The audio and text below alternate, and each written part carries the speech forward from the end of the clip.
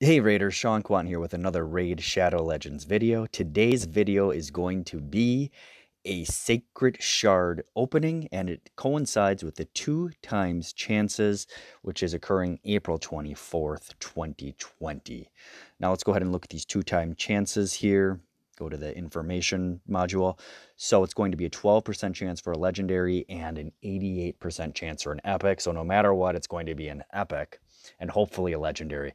Now, I will say I did have more sacred shards, or maybe at least one more last week, but I was so tempted I pulled it, and I did get a legendary outside of the two times event. It was Tomb Lord, so I'm happy to have that.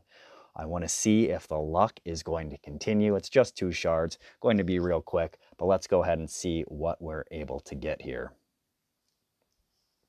First one is, oh, it's 100,000 silver. That's an expensive one. First one is Ultimate Galek. So this is my second Ultimate Galek. That's actually really disappointing, to be honest with you. All right, let's go ahead and do the next one.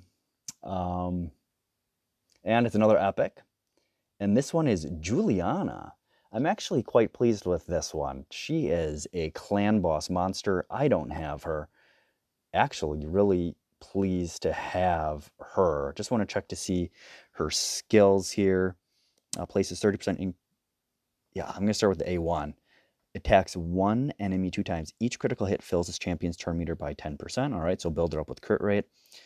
Number two or A2 places 30% increased crit rate on this champion, then attacks one enemy two times, places a 5% poison debuff on the target for three turns if critical. So, yeah, very important to have a critical hit.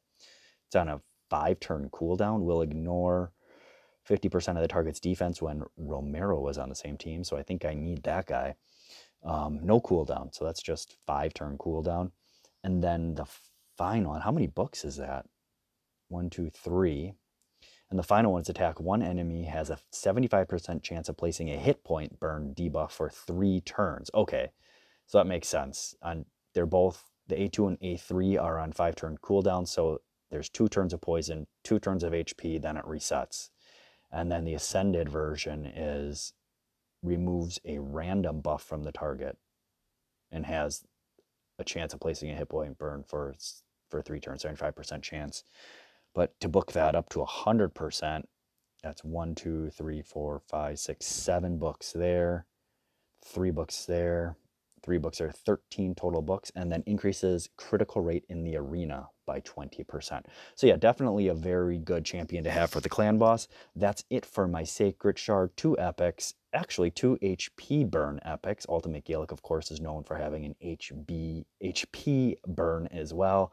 Juliana being a really good epic for clan boss uh, mid-game, and that's exactly where I'm trending towards. So glad to have her on board. Thanks so much for watching. Click the like button, subscribe if you haven't done so already. And hey, leave some comments regarding who you pulled during this two time Ancient Shard event. Thanks so much. See you next time.